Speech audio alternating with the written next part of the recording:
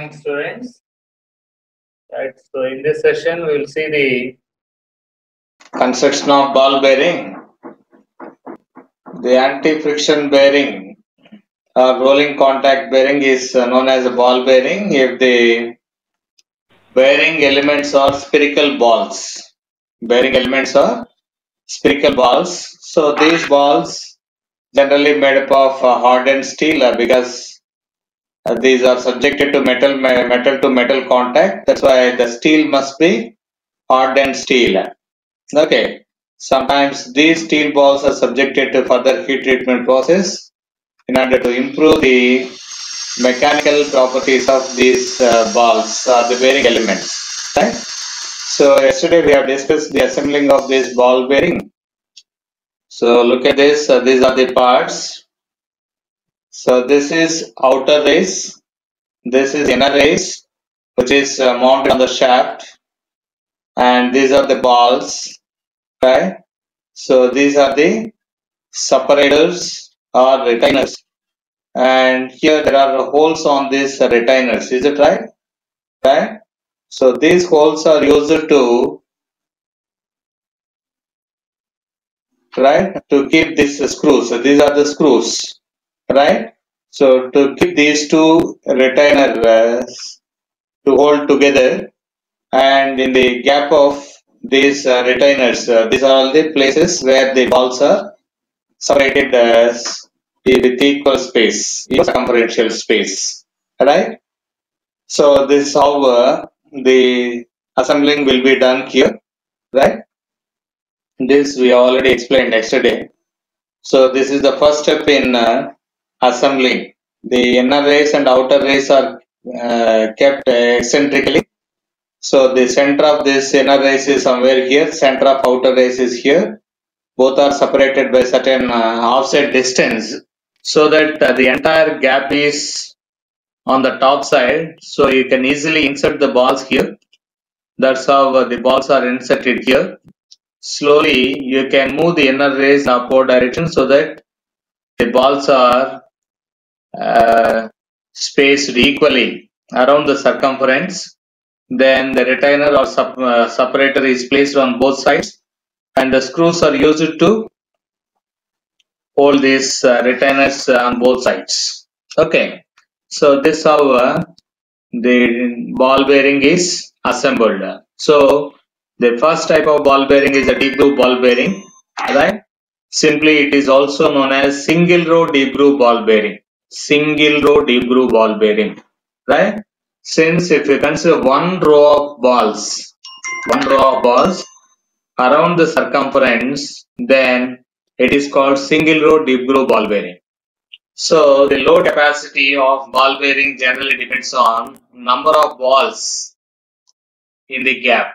Okay, as the number of balls increases, the load carrying capacity of the ball bearing deep groove ball bearing increases because these bearing elements are the load bearing elements.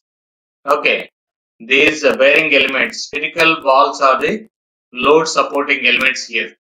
Okay, if there are more number of balls, these gaps can be reduced so that uh, the bearing will be highly rigid enough to share or uh, to support maximum loads. But as the number of uh, bearing elements are more, there is a chance of uh, uh, jamming.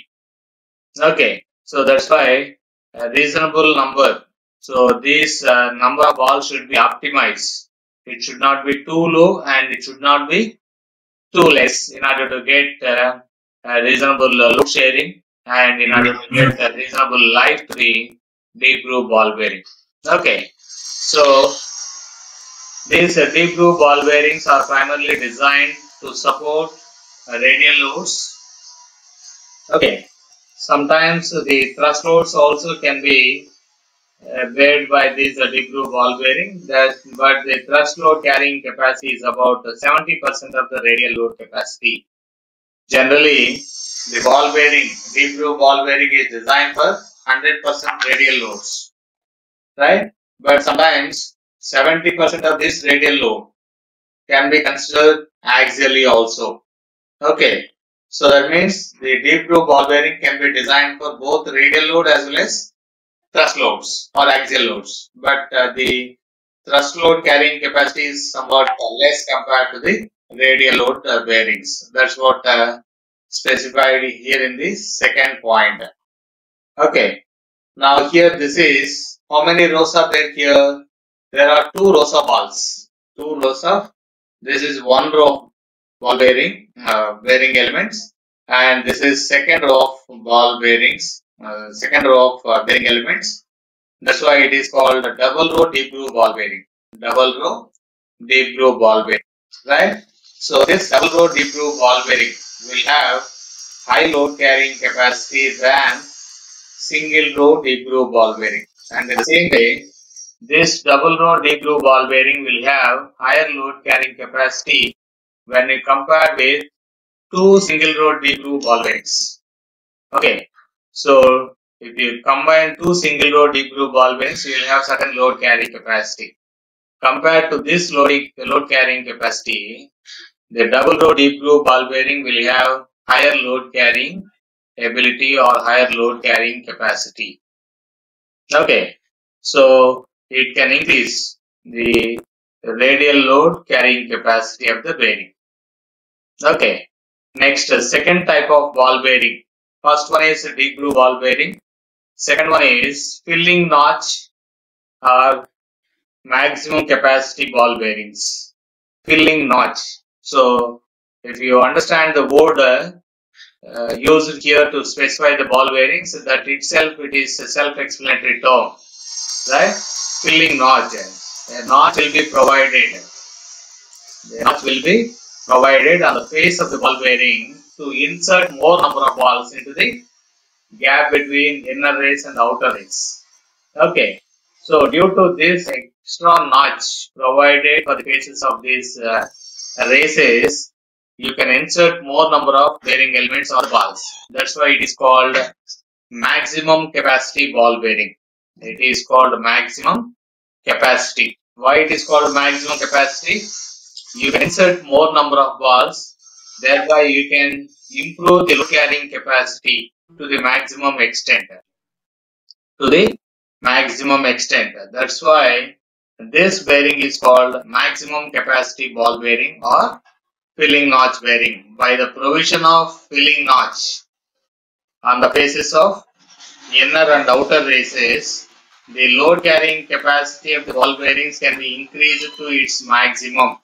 That's why these ball bearings are known as filling notch or maximum capacity ball bearings. Okay, so these bearings have same basic radial construction as like uh, Conrad type means deep groove ball bearing is uh, named as Conrad type. However, the filling notch, right? The filling notch is also known as loading groove. Extra groove is provided to load more number of balls into the gap. Permits more balls to be used. As I said earlier, the load carrying capacity of ball bearing always depends on the number of bearing elements, number of balls, number of balls within the gap. So, if you increase the number of balls in the gap, the load carrying capacity can be increased. That's what uh, the load carrying capacity of filling notch bearing is more compared to the deep groove ball bearing of same type. Look at this, this is a deep groove ball bearing and here the extra notches or the grooves are provided on the right face of both inner and outer race. Okay, so this extra provision of groove makes the insertion of more number of balls easily. Provide the facility to insert more number of balls into the groove. So due to this, the more number of bearing elements or the balls are placed in the gap between inner and outer race. Obviously, it can withstand maximum loads, right? For the same space or for the same type of construction as that of deep groove bearing. That's what uh, the advantage of uh, filling notch or maximum capacity ball bearing. Okay. So, due to this type of uh, provision, the load carrying capacity of uh, filling notch bearing is increased by 20 to 40 percent, increased by 20 to 40 percent than Conrad type, than Conrad type ball bearing. Okay. So, thrust load capacity drops to 20 percent of radial load capacity because here due to the provision of this extra groove, when you apply load in the leftward direction, if you apply load from this direction to this direction, there is a chance of release of balls from the this uh, extra groove provided. That's why there is a chance of disassembling of an entire bearing. Obviously, the thrust load carrying capacity is uh, uh, reduced to certain extent uh, by 20% of the radial load capacity. Okay, so that is regarding filling notch or maximum capacity ball bearings. And the next one is angular contact bearings. Angular contact bearings. Angular contact ball bearing. Okay, so all these uh, bearings can be easily compared with the first class of uh, ball bearings and deep groove ball bearings. Because that is a basic basic version or basic type of ball bearing. And here look at this. The inner race is as usual here. The inner race is as usual. Right? And look at the outer race. So the outer race face outer race face is provided with a groove equal to that of the diameter of the ball. Equal to that of the diameter of the ball here. And here up to here the groove or the graph is more. And from here slightly the groove is uh, reduced. Okay. Due to this look at this. This is actual contact here. And here this contact is slightly slightly shifted to some angle right so the contact surface earlier the contact surface is from here to here and it is symmetrical this vertical axis. But now the contact is symmetrical about symmetric about this inclined line. Okay, the angle between this normal and this inclined line is the contact angle of angular contact bearings. Angular contact bearings. So these bearings are widely used to support uh, thrust loads. Okay, the center line of contact, center line of contact between the balls and the raceway is at an angle to the plane of perpendicular to the axis of rotation. Okay, so when you apply thrust load in this direction, when you apply thrust load in this direction, this extra provision on the inner outer race provides extra support, provides extra support, right? So that means here some angle is provided between this surface and this surface thereby the the contact surface is also reduced and the angle of contact is developed here. Due to this, these are called angular contact bearings. These are widely used to bear thrust loads effectively. So apart from the radial loads, it can bear thrust loads very effectively.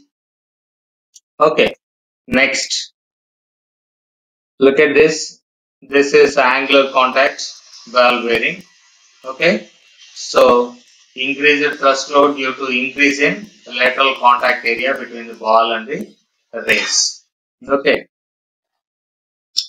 next most important variety of ball bearing is self-aligning ball bearing self-aligning ball bearing okay so these bearings are used as the supporting members to the shafts between which the power is transmitted. Okay, so the shafts may be parallel, right? So, but in some occasions, the shaft may not be exactly aligned with the, the output shaft or the input shaft. This alignment may be in terms of uh, linear deflection or in terms of angular deflection. That means angular misalignment or linear misalignment of the shafts that may cause the power transmission or the motion transmission effectively. Right? So this effect on power transmission or motion transmission can be reduced by selecting self-aligned bearings. Okay, self-aligned bearings means once again the term self-aligning is self-explanatory. So by itself, uh, by the construction of the bearing itself, it can automatically adjust the misalignment if any in the shafts. Okay, so the bearing itself adjusts itself. Okay, automatically to the misalignments of shafts or the directions of shafts during its functioning. That's why this bearing is called, this ball bearing is called self-aligning ball bearing. Okay, a self-aligning bearings permit shaft deflections up to 2 to 3 degrees, right? 2 to 2, degree, 2 to 3 degrees of uh, angular misalignments are allowed, right? If you use a self-aligning ball bearings, right, to support the shafts between which the power is transmitted. If the unit is assembled with the shaft misalignment present, then the bearing will be subjected to load that may be in excess of the design value and the premature failure occurs. Right. So here in this sentence, the consequences of uh, shaft misalignments are specified. Right. If the misalignments are more, what will happen? Apart from the actual loads, actual machine load, the excess loads are acting on the members. Excess loads are acts on the bearings, right? So the regular load plus excess load causes maximum load on the bearing, which may cause the premature failure of the bearing because it is crossing the design values or the design parameter of uh, load, designed load parameters. So when it when it crosses the design value, obviously you know the failure will be faster. Uh, you must be cautious while avoiding this type of premature failures. So that's why the selection of bearing is another important parameter while selecting the um, while considering the misalignments, right? So there are two types of uh, self-aligning bearings.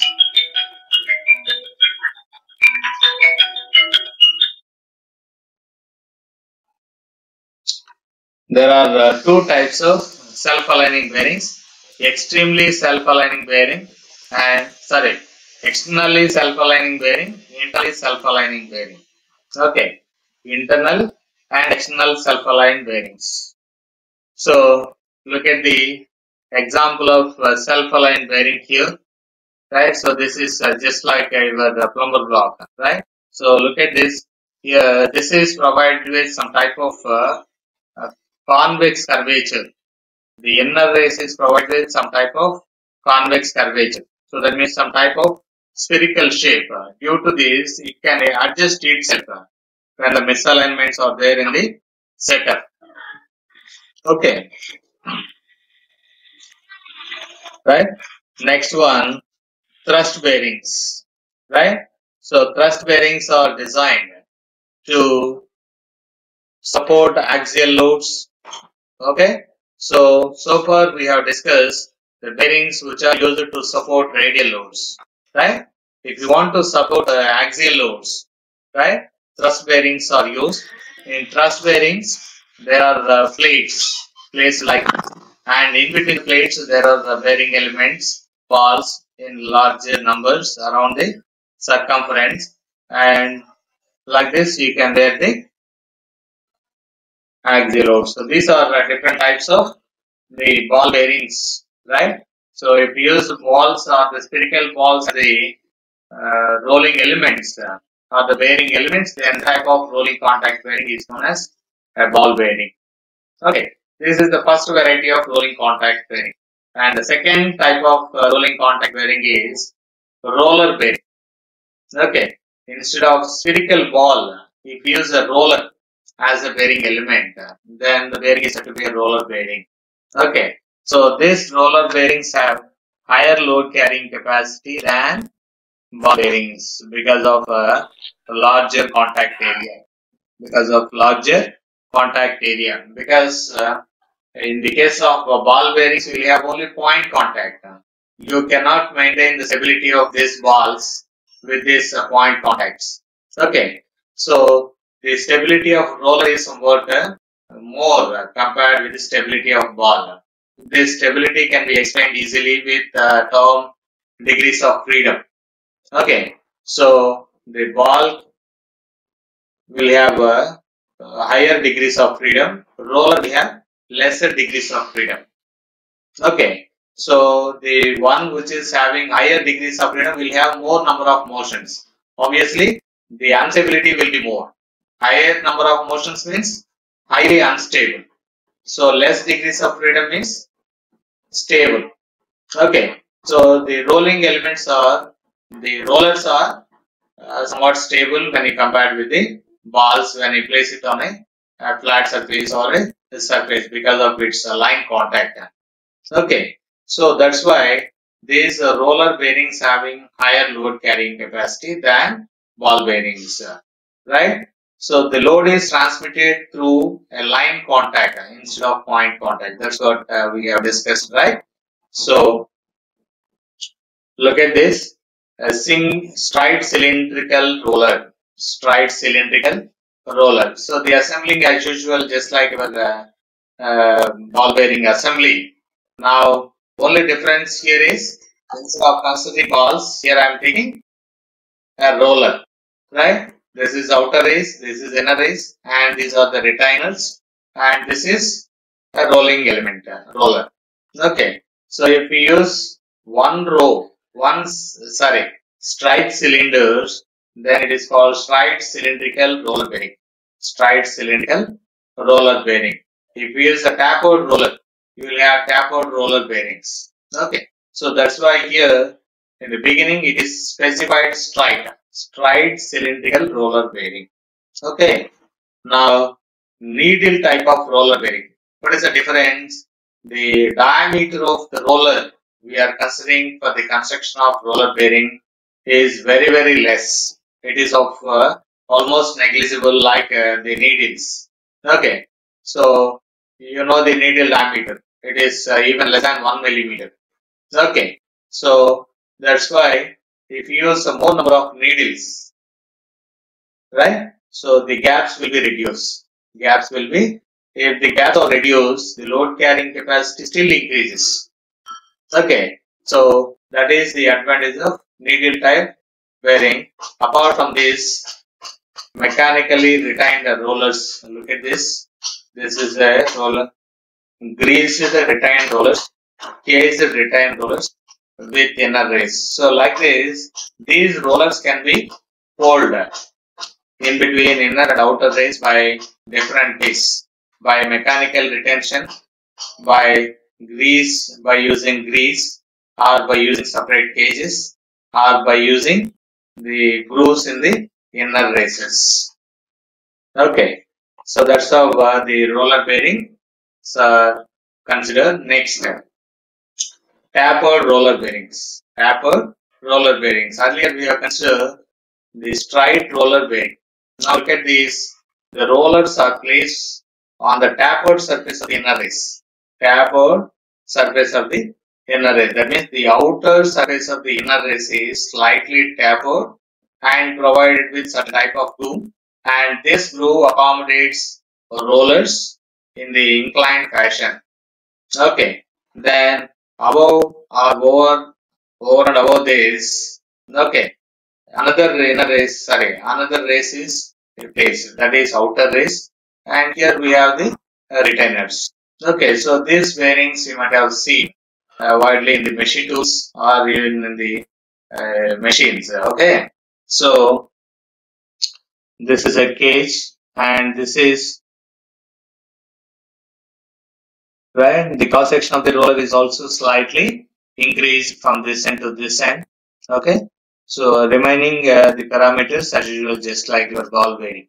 Okay, this is uh, tapered roller bearing generally designed to withstand both radial load as well as thrust load. But the amount of uh, load carrying capacity, either uh, radial loads or thrust load is definitely high compared with all types of uh, rolling contact bearings right? That's why it can share both radial loads, thrust loads and combination of these radial and thrust loads at moderate to high speeds.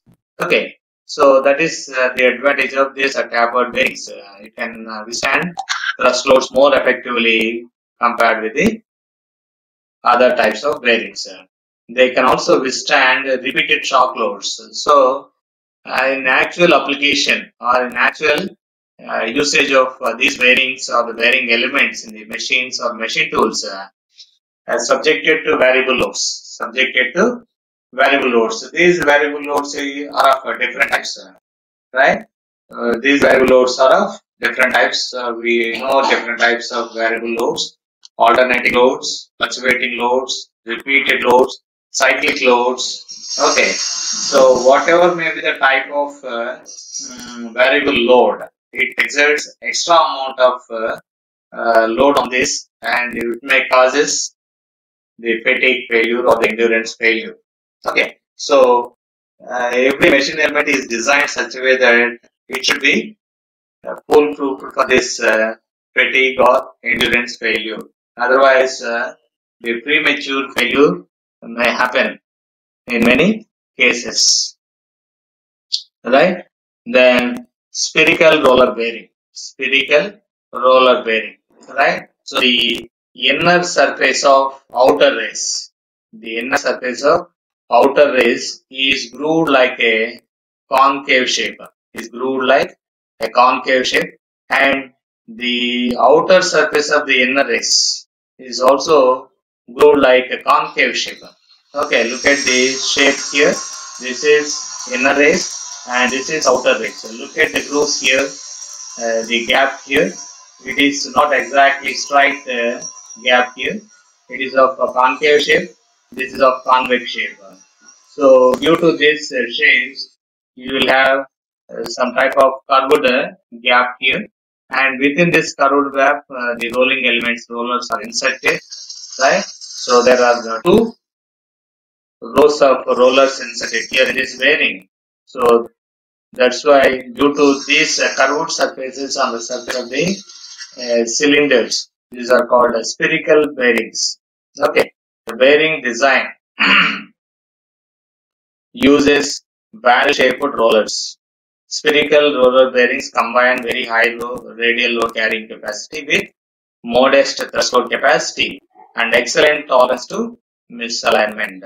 Excellent tolerance to misalignment. So because of this spherical surface on the on the rollers as well as the contact surface of the inner and outer races, it is uh, easy to attach to the misalignment like uh, uh, the self-aligned ball bearings. So these can be easily used to adjust for the misalignments in the uh, shafts. Okay, now thrust bearings, right? So as we have already discussed, uh, two these are considered in uh, uh, place. This is inner ring and outer ring. In between inner and outer ring, so there are number of balls placed in between the inner and outer rings, right? And these balls are kept uh, radially at equal distances. Sorry, uh, angularly at the same distance. So by taking the retainers or separators. Okay, right? So this is balls and this is regarding the rollers, right? So the rollers are placed in the grooves of uh, cage or the retainers here. Okay.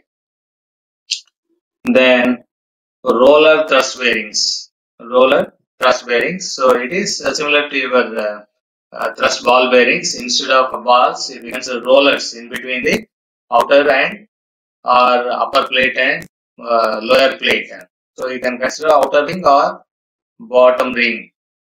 Outer ring, inner ring or outer plate and inner plate. In between you have the uh, a plate of number of rollers in terms of a retainer or the separators. Okay, right? Tapered thrust bearings, right? So if use instead of a, regular cylinder, if you use a truncated cones, if you use a portion of a, a tapered cylinder as the rolling elements, then that is called tapered thrust bearings. Okay, so these all these bearings are designed for thrust loads. Earlier bearings are designed for radial loads. Earlier bearings are designed for radial loads. Okay, then this is uh, regarding the classification of rolling contact bearings. Classification of, I hope uh, it is clear. So there are the different varieties of ball bearings. There are different varieties of uh, roller bearings. In all bearings, spherical ball is the rolling element. Now roller bearings, roller is the rolling element. Cylindrical, cylinder is the rolling element. But uh, depending on the requirement, you can consider different types of ball bearings, right? Click notch ball bearing, self-aligned ball bearing, angular contact ball bearing, and the prime version is deep groove ball bearing. Under deep groove, you have a single groove and double row deep groove ball. There are uh, four types of ball bearings, right?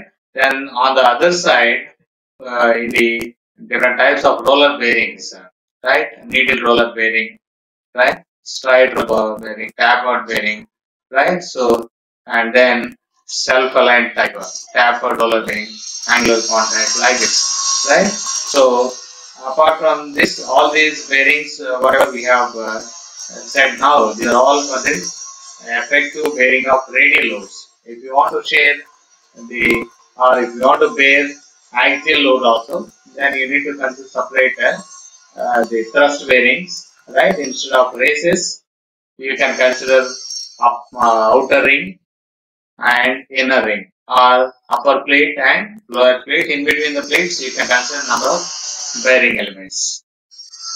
Okay, now the life of the bearing. This is another uh, vital parameter you need to consider in the design of uh, bearing. Okay, so it is simply number of revolutions or hours of operation at constant speed are required for the failure criterion to develop. The number of revolutions that a member can complete uh, before its before its first sign of failure, first indication of failure. Life is defined as number of revolutions or hours of operation at a constant speed are required for the failure criterion to develop. Uh, failure criterion to develop. And now here, this different types of life we have here, average life, rated life. Okay, so rated life defines the number of revolutions or hours of operation at constant speed. Right, same number of revolutions or hours of operation at constant speed in such a way that 90% of the bearings tested 90% of the bearings tested will complete or exceed before the first evidence of failure develops. Before the first evidence of failure develops. Right? So, listen carefully. A rating life is defined as number of revolutions or hours of operation at constant speed in such a way that 90% of the bearings of that group will complete or exceed before the first evidence of fatigue, uh, first evidence of failure develops. This is also known as L10 life. What do you mean by rated life?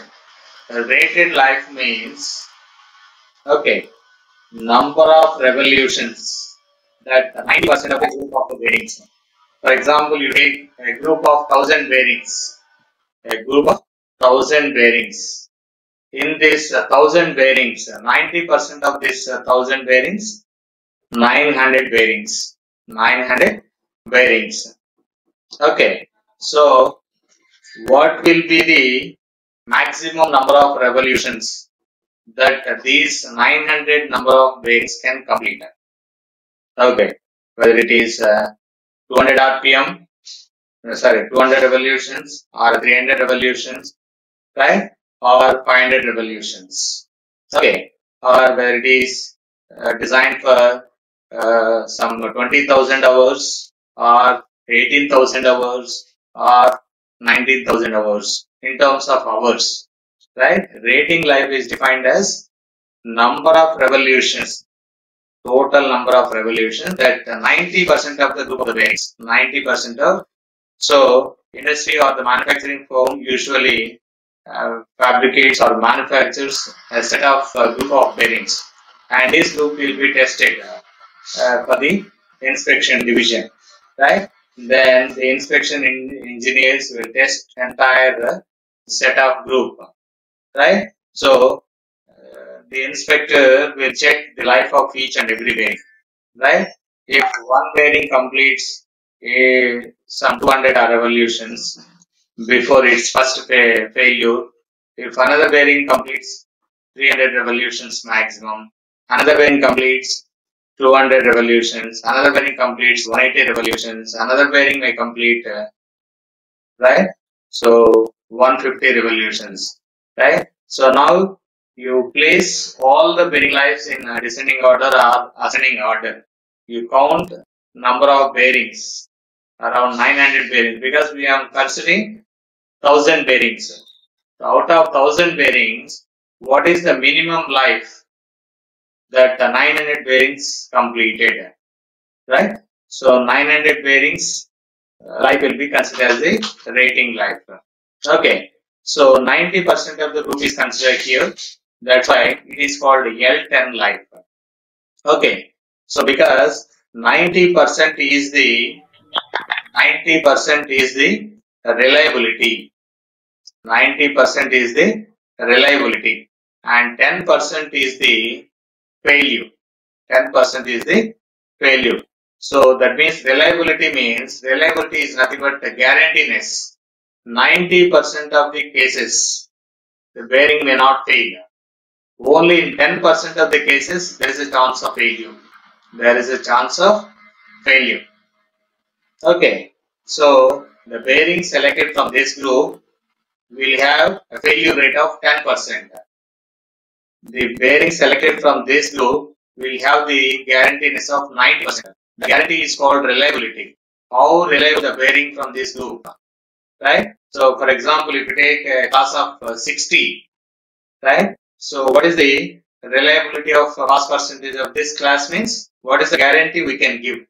So, we can give 30 percentage, 30 percentage is the, the reliable pass percentage.